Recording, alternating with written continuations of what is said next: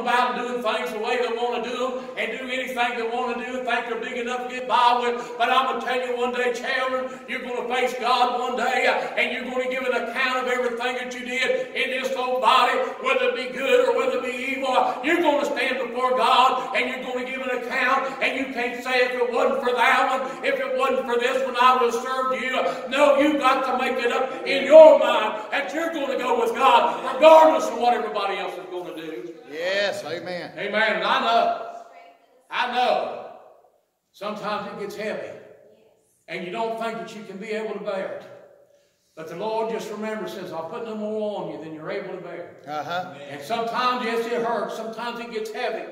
And you've got to bear that load. But you know what? God's going to see you through. Victory's coming in the morning. Tears may endure for a night, but joy cometh in the morning. Now, Yes. That joy of the Lord is your strength tonight. Uh-huh. You've got to have joy if you want to make it with God. It takes that joy down in your soul. That's your strength tonight. That's your joy. You've got to have that joy.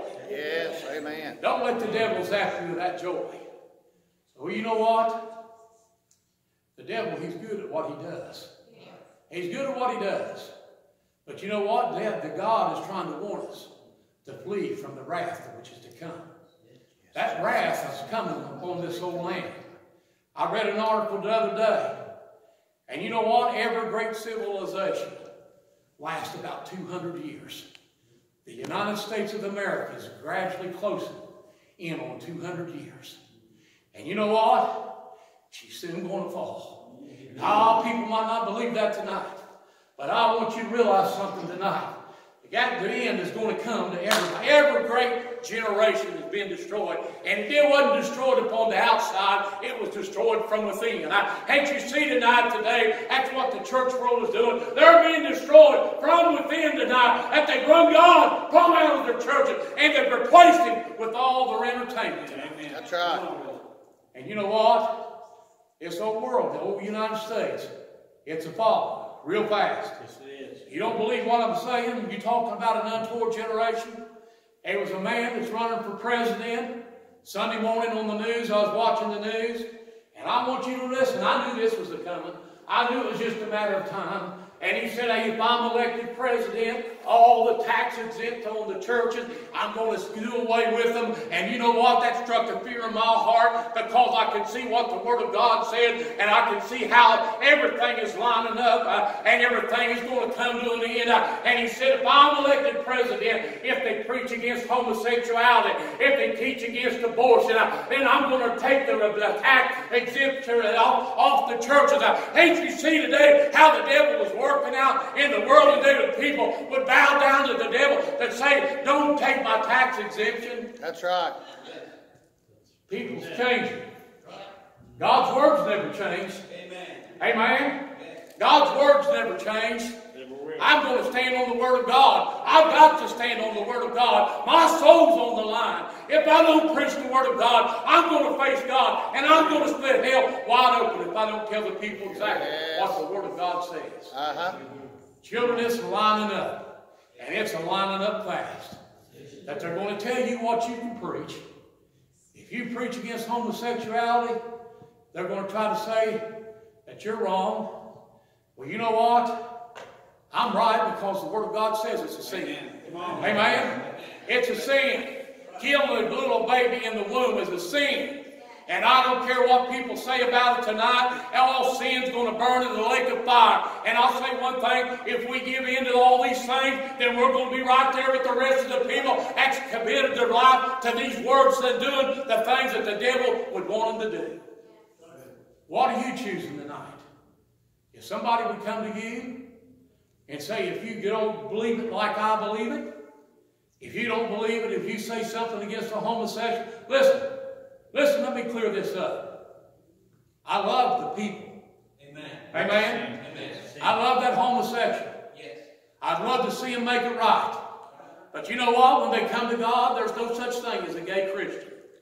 When they give their life to God, they're going to turn their life around and they're going to walk in the newness of life. And they ain't no devils in hell can take that from me tonight because God said it was a sin. And if God said it was a sin, it's going to burn tonight. And if God said killing a child is a sin, it's going to burn. And no devils can take that from me tonight. Yes. Oh, they might put me in prison. They put the apostles in prison. They put him in prison, uh, but it didn't keep him from telling what the Word of God said. You've got to stand for something tonight. What are you standing for? If you don't stand for something, you'll fall for anything. Uh-huh. And that's what the world and the church world is doing today. They're falling for everything. Listen to what people tell them because it goes along with the congregation. If it hurts somebody in the congregation, listen, I don't know nobody. I don't know what nobody does. But you know what we was talking about tonight? You can't hide from God. That's right. Amen. People they worried about hiding it from their neighbor, hiding it from their sister, hiding it from their pastor. But you know what? You better worry about hiding it from God because you cannot hide it from God. God sees everything that you do. God knows every thought that goes through your mind. And you know what? We've got to get all these evil thoughts out of our mind when they come in. We've got to put them on the run. And like I was saying a while ago, I can love that homosexual, but I don't love the sin that they're committing. Amen? I don't believe in calling people names because you know what? You're not going to win people by calling them names. You'll win people by giving them a little bit of honey, a little bit, and show them that you love them, and show them that you care for them, and show them that there's a better way for them. Yeah. Amen? I wouldn't, I heard a preacher one time got right up in the pulpit and called him, I'm not going to use the word, but he just called him by the cue. You know what I'm talking about. Got right behind the desk. Now, who does he think he's going to win? Huh? You ain't going to win people by calling them names. You're not going to win people like that. You know what? You've got to show them love. Yep. Show them you love them. Show them that God loves them. But God doesn't love the things that they're doing. That's right. That's the big difference. Amen. Come on. Bro. You know what? God don't want you to roll up your sleeves and fight with one of them. God don't want you to do it like that. God wants you to show that God wants you to show that you care for them, that you're praying for them, that you want to see them come and give their life to God. And when God comes in, God will make a change. God will do something that no man could ever do. That's right. Amen. He's the only one that can change a person like that. He's the only one that can change a liar and put truth in them. Amen. That's what God can do. God can do all these things. God can pull them out of the life of sin. When you think that you're down in that bottom of that barrel and you can't go no lower, God has got a long arm that Right. can reach right down to the bottom of that barrel and pull you right back out. That's the power that my God has got. It's God's got all power in heaven and earth. All power Yes. in heaven and earth. And I'll say one thing tonight, He can save that foulest sinner that's out there tonight. We look at around today and we try to say that just because a person's a homosexual, but what's the difference in a man being a liar? Right. What's the difference in a man committing adultery? Huh? What's the difference? You know what it is? It's sin. God looks down, He sees sin. That's right. And all sin is going to burn. We try to categorize sin. We try to say, well, this man over here, he just committed adultery, but he, God's forgive him of it. You know what? I've seen a lot of preachers that committed adultery, and they didn't only commit it one time. They committed it more than two. They committed it more than three different times. And you trying to tell me that God has forgiven them? Nope. One right after the other? And people still sending their money to these TV evangelists, and, they, and their lives being open, right, brought right out in the open. Be sure your sins will find you out. Amen. Uh-huh. You're not going to hide from God. God's going to bring them right out in the open where people can see them. And then what are you going to do? When God shows you what people are doing. And when God begins to show you what you are doing. Are you willing to walk in the light when He shines that light in your pathway? Are you willing to lay things down when God says to lay them down? Are you willing to pick things up when God says to pick them up? Sometimes we go through things and we look around and we wonder why we're going through them. Did you take inventory? Did you examine yourselves whether you be in the faith? Amen? Did you ever examine yourself? Yes. Have I quit reading? Have I quit studying? Have I quit praying? Yep. Have I quit going to church? My lands. We sit there and we do all these things, and we check these off, and we see what we're doing, and yet when we mark them off and we see what we're doing, we don't want to do nothing about it. Some people don't want to change. They'll say, well, if that's how I'm going to make it to heaven, that's the only way there is, then I'm not going. Well, you made it up in your mind that you're not going. But you know what? There's another place that you're going to split wide open. If you don't make it to heaven, hell's going to be the only place that you can go.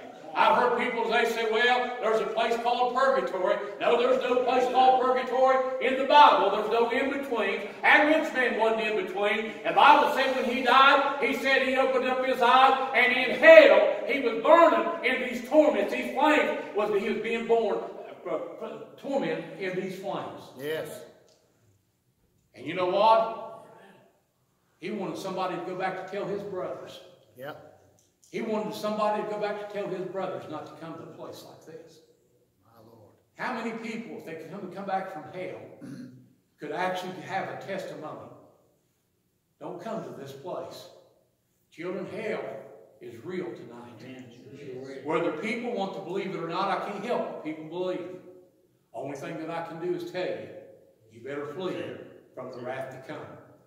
You know what? There was a time when Noah was on this earth. God told him to build that ark. Yes. And he built that ark upon dry ground. And the Bible said it never rained in those days. Here was a man that people thought that was crazy, didn't know what he was talking about, but yet he was building that ark on that dry ground. And he telling the people, you better flee from the wrath to come.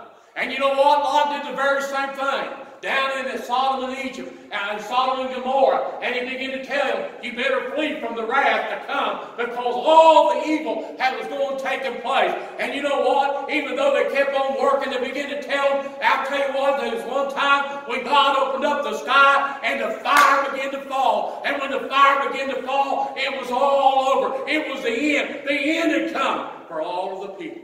Amen. Uh-huh. But you know what? Those people that was in that ark. Eight souls. Listen to me tonight. Eight souls were saved. And you know how they were saved? The water. Eight souls that was in that ark. And when that door was shut, and you know what? Like I said a while ago, it said it didn't rain in those days. Only a mist would come up out of the ground to water that ground. But I imagine, wonder what the people thought. When the skies clouded up, and no doubt it began to thunder and it began to lightning. And then here come the rains down out of the sky. Something they'd never seen in their life. And yet, no doubt, no doubt, some people told them there's no such thing as rain. Don't worry about that old man. He'd been working on that ark for years, and he's still a building. But you know what? That ark got built, and it saved eight souls. But what I must tell you tonight, no doubt, when that rain began to fall, and it got up on their knees, and it got up on their waist, I believe they began to say, that man knew what he was talking about. He began to tell them, but now it's too late. And tell them it was too late. My, my. And they were all drowned in that water. Yes. And you know what? The fire is soon to come. These old skies are going to open up. And it's going to rain fire and brimstone. I've never seen fire and brimstone. Just like them people back there didn't see the rain. But the fire and brimstones are coming.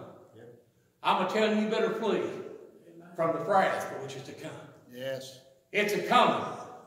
Like they said a while ago, earlier tonight, or I believe Brother Dallas talked about it Friday, he said the people, they rose up, and they rose up to play.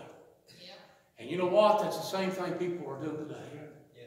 They raise up, and they're raising up to play. But the ends are coming. The ends are coming. And where are you going to be when God knocked upon your heart and you turned him away? The Bible says that today is the day of salvation. Harden not your heart. Our God is a good God. It's not His will that any should perish, but all should come to repentance. God's calling people. God's calling people every day. He said, My spirit shall not always strive with man. I'll say one thing, I've thought about that a lot of times. When he said, My spirit shall not always strive with man. You know what? Hell is enlarging herself every day. That's right. That it's coming up. It's coming up. We can't see it. I'm talking spiritually tonight. But you know what? When those spirits start running around, and you know what? When the devil was cast down into heaven, from the heaven to the earth, third, a third of the angels was cast down with him. Where do you think those third of the angels are at tonight? They're out there trying to win people, trying to deceive people, to get them into everything that's called religion. Yep. That's called religion. The devil, he wanted to be worshipped just like God. But you know what? He'll never be a God like the God that we're serving. Amen. Amen. His, his doom's already been pronounced upon us. Uh-huh. And I'll say one thing tonight, children. It behooves each and every one of us to get down to business with God. I'll say me. I'm not going to talk about nobody. I'll say me. I need to get down to business with God more than what I am. Yes. Every day I need a closer walk with God. Yes. I said, Lord, the Lord said faith cometh by hearing. Hearing by the word of God. And not only be a hearer of the word, but be a doer of the word. Amen. When God begins to show you things and begin to shine light in your pathway, then you've got to walk in that light. What are you giving in exchange for your soul tonight? I keep going back to that. And I thought, what God was it going to take? It waited till the rains was coming down, but it was too late. It waited until the fire was coming down upon this earth, but it was too late. How many people's going to wait around until it's too late? Going to wait and wait and wait and put off their salvation. You have no promise of tomorrow. Tomorrow may never come for a lot of us. But I'm going to tell you what, the Bible says, let us hear the conclusion of the whole matter. Matter. Fear God and keep his commandments. Uh-huh. For this is the whole duty of man. That's our duty, is to commit, keep the commandments of God. Yes. That's all I'm. I know I didn't get through part of this. But children, I'm telling you here tonight, God's soon to come. Yes. You know, once you've tasted of the goodness of God, there's nothing that can take his place.